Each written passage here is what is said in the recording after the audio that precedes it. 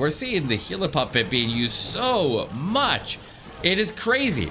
Why are so many of the pro players switching over to Healer Puppet and not using Frozen Arrow? Today is elimination for either Tribe Gaming or Marcos Esports in the FCL playoffs. Let's dive in. Nebrox kicking us off today. And on top of that, we are going to be seeing two different wars today in about 15 minutes.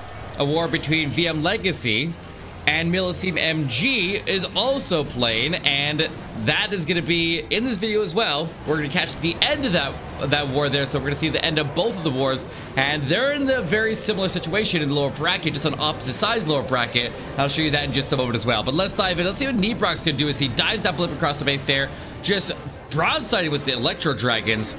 Know that he's uh, one of the best E-Drag attackers in the world, and I don't know how he does so much better with E-Drags than like everybody else there. I don't know what he does differently than everybody else, but for whatever reason, he ends up overkilling these bases like crazy. He always goes first for Tribe Gaming, and his goal is to try to keep the attack times down at the very, very beginning of the war. It's part of Tribe's greater strategy to make sure that they if they do end up going to a double perfect war, then they have time advantage. So they go for fast, fast, fast attacks at the very start of the war, and they triple consistently. I'll show you the war log in just a minute to show you exactly what I'm talking about. But Nebrox looking very, very good at this one. Just completely leveling that base with E-Drags faster than any of the other spam style attacks could end up getting done. Like, look at all the Root Rider attacks right now, and we know that they're powerful, but to be able to be this consistent with E-Drags and that fast as well, you know that they have something special going on. But look at the war log here, guys. Look at this war log. 14, 15, 15, 15, 15, 15. yeah, they're pretty good. This is Tribe Gaming we're talking about. And they do not mess around and they triple a lot and they triple fast. Campbell G will start us off here for Marcos Esports. He's going to break out the Root Riders and it's going to be a Queen Charge, which is going to end up being a little bit slower than what we saw at Tribe. And I really feel like that if you are playing against Tribe, and with the track record that Tribe has, you just kind of have to throw some caution to the wind and make your attacks fast. And the choice to do a Queen Charge into Root Riders is going to be a slower option, but a nice invisibility there. Get the Queen to redirect into the core of the base, and we'll see how quickly he can get this base down. And that's assuming that he's able to triple it. Like, we, we hope that they can just keep on triple it and we can see a double perfect war. That's the ideal scenario. That's why we jump into matches. So we see big name teams like this going against each other when you see one of the top teams out of Europe, out of the top team out of India, you know that you're in for a good match. But pushing forward here with that frozen arrow. Level 18 on that. Maxed out giant gauntlet. Run of the healing tome. And here we go with the Root going through the Town Hall. Queen does have a very good path right now. Like, the wall breaks that he's able to get for her are going to give her access into all the heavy defenses of the core. And the has got going at a pretty decent pace here. Like, I feel like he's uh, doing everything right in this attack here. But it always just feels like when you're playing against Tribe Gaming that you just have to pick up the pace because Tribe doesn't mess around like we talked about and that's their entire strategy. They don't just go out there and tried to get the perfect war, they tried to get the perfect war as quickly as possible. That makes them one of the most difficult teams to beat in all of Clash of Clans esports right now. But right now, he's got that queen still moving to the core of the base there. Flame Flinger giving her support on the flank there. Pops the queen ability. Could have burned an extra rage right there, but maybe wants extra spells for the left side of the base there. Notice how he puts the skeleton spell out of the minimum range of the scatter shot there, but also distracting the queen at the same time. So Good value out of that. Locks onto the defensive queen. Quickly takes her down. Needs to get the cleanup at the top of the base there to make sure he doesn't leave any buildings behind. He's got wizards following up though. He's got the cleanup taken care of, and it is pretty fast here. Like honestly, for a queen charge root rider attack, he'll swag a freeze, and he will get it done here at a minute excuse me, uh, 45 seconds to spare on the clock. Skelly Donut and Zap Lalo are Rakira's two favorite attacks, and both of them have already proven to be very, very fast. So start off with the Skelly Donut, invest the time early, and then we get the heroes and the Lalo moving at the same time. But easily picks up three major targets right there. Multi-Inferno, Monolith, and Clan Castle. And now we make our way forward here with the heroes. King diving towards the Town Hall. You got him to go to the left there. Make it so that he can cut off his pathing with the queen and then pop his ability to go in there and get the town hall down. That's the goal here. Unfortunately, the king is not participating in that goal. And he's taking off in the wrong direction. Okay, well, that's a problem. It's a problem. It's nothing that he can't adjust for. But it is something he will have to handle right now. The queen will get the king out in front tanking. She'll go invisible. And the king will end up dying out over there. Definitely would have preferred that he would have went into the town hall to go get the first star secured. But he does run a healer puppet here. Level 17 on the healer puppet. Interesting. Interesting choice there. Level 27 on the giant gauntlet. Didn't get a lot of value out of the gauntlet, but did get the defensive queen out of the way. But look at this. All right, queen. All right, queen's just going to trade places with the king. That's fine. He'll need a scatter shot, but I'd much rather having, I'd much rather have a scatter shot still up there to deal with than having the town hall up to deal with. But a quick adjustment there, and he's able to power through with the healers that he spawned. But down south, down, down comes a stone slammer. And he'll run a life gem with his Lalo, which is pretty standard here. He needs to get the world champion to pick up these internal defenses that the balloons are getting pushed away from by the sweeper. So he got the Molten Inferno down, leaving up a couple of the other buildings there. But the Queen's still working in that area. The Queen's gonna handle that X-Bow and the battle buildings in that area.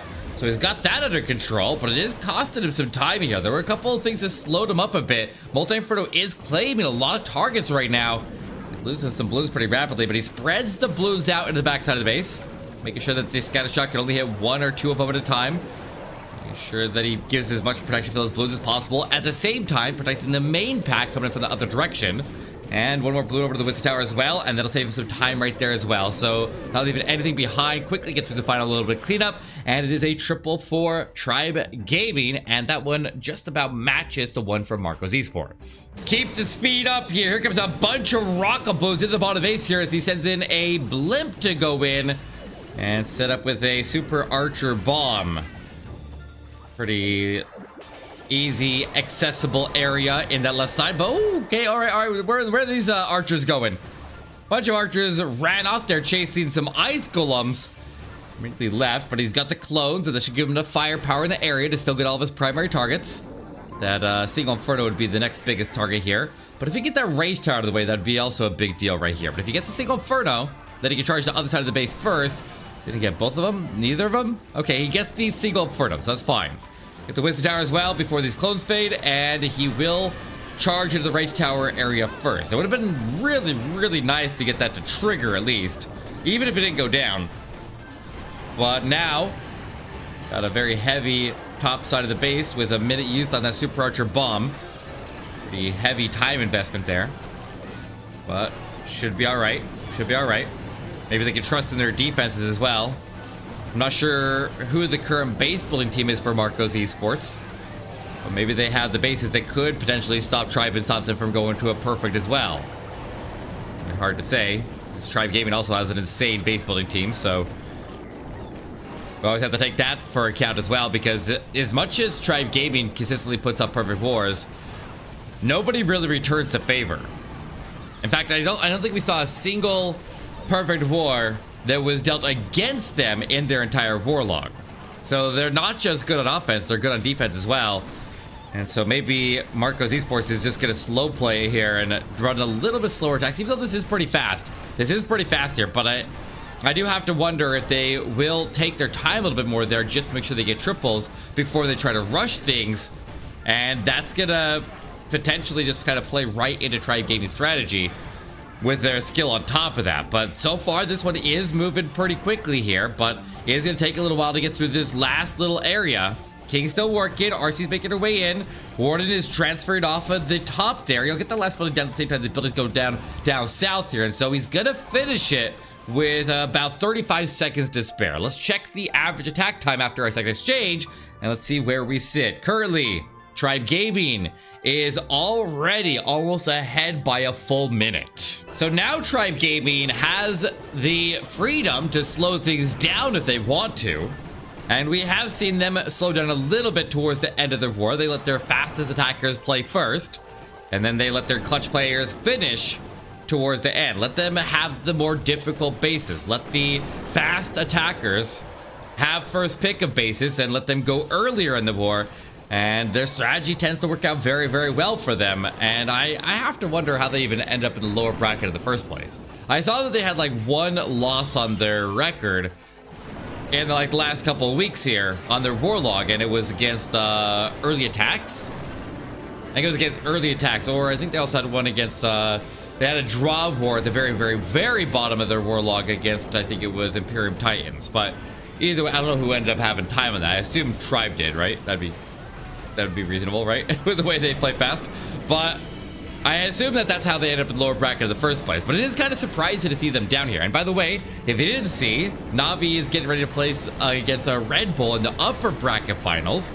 And there's a lot of big teams in this in this lower bracket that are still fighting for survival down here. And take a look at that in just a minute. We'll take a look after this attack here as Executus makes his Lalo in for the right side. Queen doing some fantastic work up at the very top of the base. Gonna go ahead and clear that entire compartment. And with the Lalo kind of clumping up here, I'm not a huge fan of how it is moving right now. Kind of slowing down. He doesn't have any rages, has no more freezes, has a defensive royal champion down south. Executus might be in trouble here. He's got this multi-arch tower down south. Got the flame flinger still moving. Maybe that's the kicker that'll give him what he needs here. But while he's got this multi-archer tower fired off to the left there, he does throw in a couple balloons, but the balloons quickly go down. RC pops her ability. Throws her shield across the base there. She'll clear it up right there. Okay, you know. okay, all right. Well, maybe I misjudged that a little bit. Uh, yeah, that's crushed. That is absolutely crushed. Uh, Executus gets it done. Another fast one on the board for Tribe Gaming. Let's take a look at the bracket here so we can see what the path looks like for these teams to be able to make it to the grand finals. So we can see the Tribe Gaming versus Marcos is right here. Their next opponent, the next opponent for whoever wins this match will be our defending world champions, formerly Clash Champs, now an Archean. There's still multiple, multiple rounds to get through. I think eight rounds in a row is what they'd have to win to win the Grand Finals Championship, where Navi and Red Bull, if they win two in that upper path, then they're done. I think it's time I think it's time to break out the spam and go for speed all the way across the base here. The long push towards the town hall, but he'll get that invisibility tower and the model out on the backside of the base. And now Jart to push his way in. He's got one skeleton spell, one rage, and three freezes to pair with his root riders and valkyries and a long path to make it through. But the skeleton spell will try to disable some of these single infernos. And by some of them, I mean all of them at the same time, but obviously they don't last for very long right there under that heavy, heavy crossfire, so probably needed additional skeleton spells right there to provide full protection, but the ward ability will give him the protection that he needs. And we'll see what he can do. Make sure to get the... No, he did not get the king inside of the ward ability, so he's all the way off to the far left side of the base. He'll get the defensive royal champion down. He's got the frozen arrow onto the queen, and it looks like he's... Oh, he blimps to town hall. He blimps the very, very short approach to the town hall there. But my god, these single infernos. What's happening in the core of the base here? I mean, he lost a lot of root riders to single infernos in the core. Queen is separated from the root riders over to the left there, and I don't I don't know that he got this right now. He lost a lot of troops here very, very early. Tries to freeze over the right there, but the scatter shot hits the headhunters right before the freeze goes down. And that defensive queen's gonna be trouble now. Valkyrie's over to the left there. Got that uh, battle builder trying to repair the X-Bow. Well, Valkyries go in there, but the minion working on it. But up top there, the queen and the royal champion keep on. Just kidding, no queen. Where'd the queen go? Queen's, queen's gone. Down to the Aurora champion and the warden. Got a couple of miscellaneous troops here, but I, I don't know. I, I think they they're gonna need uh, a little bit more out of this one. I mean, throw caution to the wind is what I told them to do to try to keep things up here, but you still got a triple. Okay, it looks like it's already logged above my head of the board there. 92% is the final, and Shiv ends up slipping up here on Marcos Esports side, and now time is irrelevant. Would have been really, really helpful if the king would have stayed with the pack here. But apparently, Queen with the Frozen Arrow died through ability which is very, very common with the Frozen Arrow. You have to make sure that you pop those abilities manually on the Queen when you're using Frozen Arrow. Otherwise, that will happen. And that was the second time that that happened during this war.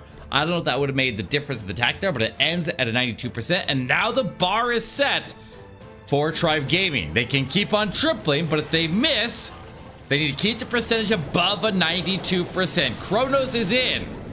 A Zapper to Lalo, anti two-star base. Wrap his heroes around the bottom. Grand Expo is hammering down his queen here pretty hard. You see that he is running Archer Puppet. Not gonna let his queen die through ability. So see what she can do over there, but a skeleton spell comes down for the single inferno. It's level 27 on the giant gauntlet. And running the life gem for the Warden. Can getting targeted by the single for needs to pop his ability soon. Get it down here before it goes full beam. Yep, got it under control. All right, good, good, good. But the Monolith is going to take him out right there. The Queen already burned her ability, and the Ice Golem that she had supporting her is leaving as Ice Golem's on defense going to stop her up, but that's fine. There's that Tornado Trap landing at the Town Hall, stuck. Catching that blimp. Able to take it down, though. Does make sure that the Rage is overlapping where the Yetis land, but also overlapping as much backwards as possible to make sure that the balloons are getting a nice extra boost right there. And he's looking pretty clean here. He's got one more freeze. He's still got a royal champion ability. Did he deploy her yet? I'm looking for her right now. There she is, in the middle. In the middle, she's taking fire from the Ricochet the X-Bow right now. That says air defense can stop it right now. This should go through. It is looking pretty solid. He'll freeze the air defense to save the Blues. Let the Royal Champion go down. And the air defense is looking to go down here as the Warden and the last couple of Blues coast their way into it. So, still, even when they have full advantage in the war, they obviously have already planned out their attacks to be fast. And they are sticking to strategies that do tend to be much faster. And a lot of the Lalo strategies tend to be faster than the Root Rider attacks, and that's why I think Tribe Gaming is sticking with these style of attacks. But right now, they're one triple away from another perfect war on the record. So in the VM Legacy and Milliceme MG war, it looks like Darkstar just had a 0% zero star disconnect, and so that war is going to be over before we even get there. So scratch the extra addition to this video because plans just changed. And now let's just focus in on this one here. And most likely, we're going to see a win out of Milliceme MG. Unless they also have a disconnect. We'll check at the end here and see if that happens in the other direction. But let's see what happens with Mr. Adil going in. A little bit of lightning. He was able to take out the Spell Tower and the Monolith behind the Town Hall. But the Battle Builders repaired all the extra damage right there. But he uses those being out of the way and drives his queen in. There we this time we see that frozen arrow, and this time Queen hopefully can survive. Gonna lose the unicorn through the ricochet cannon, which is a little bit unfortunate, but the battle drill working through in that compartment will give him some extra support there. But he lost a unicorn. He will not be able to recover his queen anymore, which is a bit of a problem here. She's still taking damage. He's okay though. Got a lot of Root Riders gonna give her access through to the core of the base there. So I thought for a minute she'd be trapped there, but the Root Riders will give her well, she needs to advance forward with the pack after she gets done dealing with the defensive ice golems. But all the troops on the left side of the base there doing good work there, staying together. I thought he'd end up with a couple splitting off to the far left there, and I'm so, I'm kind of surprised they all stayed together and didn't split off. And that's a little bit of a problem that he has these extra buildings off on the left side that could cause some pathing issues. But he keeps on charging fearlessly forward. So got one more lighting. I don't know what he has an extra lighting for. And he brings seven and he uh, only needs six. I mean, you know, if you brought seven, obviously he took out a monolith. And so if he had seven lightning and he just decided not to use one, then he could have taken out a ricochet cannon. Probably the ricochet cannon that got the queen, but he pop stars the ability, does clear out the final defenses on the far left side of the base, and it looks like it is going to go through. So a very, very nice setup. Let's see that lightning back again, because I'm kind of confused on what he was doing there. He cast the last lightning onto the storage, but I think he could have made that a lot easier on himself there and protect his queen better if he would have been able to use the lightning to take that down. Looks like he had six. Oh, just kidding. It wasn't a monolith. The monolith right there. I'm an idiot. All right, disregard the monolith. he used five, and he took out the Inferno and the Spell Tower and two of the Battle Builders. So yeah, it would have been a much more heavy investment to go for the Ricochet Cannon. And now, the moment of truth. Yo-Yo23 diving in for Tribe Gaming. As he starts in with a bit of lightning, going for the anti-two-star base. He needs to hit a 93% to lock in the win right now. Otherwise, he'll leave the door open. So let's see if he can make his way in here without anything going wrong. Key things that I'll be looking for, one of the biggest things that will impact the outcome of this attack here. Assuming he does everything right, will be if the blimp gets caught in a, like a tornado trap and then taken down before it gets to town hall. That's the most likely cause of this one going off the rails and having big problems. But he doesn't wait for the heroes to finish up down south. He goes to the Eagle Artillery. And as soon as that Eagle Artillery is going down, he gets the Lalo moving. He will be able to pop that ward ability and he can absorb the Eagle Artillery strikes there with the ward ability while at the same time protecting the balloons, protecting the headhunters to go to the defensive queen, and protecting the blimp. It does catch the tornado trap. And now let's see if it actually goes down. Looking like it is not taking the town hall. Okay, he's gonna lose a lot of balloons. That's gonna be a big hit. All right, the thing that needs to go wrong went wrong. He's still okay, though. He's got a lot of balloons in every other side of the base. He lost a lot right there, but I think he's still okay. I think he's still okay here. He's got plenty of blue still moving. He turned his queen dive into a into a queen charge and the queen will stay alive there. Even though he ran the lalo in a completely different section of the base he still gets her to survive and we're seeing the healer puppet being used so much. It is crazy. Why are so many of the pro players switching over to healer puppet and not using frozen arrow? And especially today after we saw multiple queens go down through ability while trying to use the frozen arrow. So maybe maybe frozen arrow is a mistake. Maybe the healer puppet maybe Picastro's judgment all the weeks ago when we weren't even sure what was going to be happening was corrected the healer puppet was the right path all along. But as you can see, Tribe Gaming has locked in the win and they will advance to face Anarchia. 24 seconds faster on average for Tribe Gaming. I mean, Marcos Esports, they were booking it. They had some very fast attacks. They put up a very, very respectable average attack time. But Tribe Gaming, when you expand out the 24 seconds times to five attacks, then they just completely put it away. They put it completely out of reach. They're fast, they triple a lot, and they got to the perfect war, and they eliminate Marcos Esports today.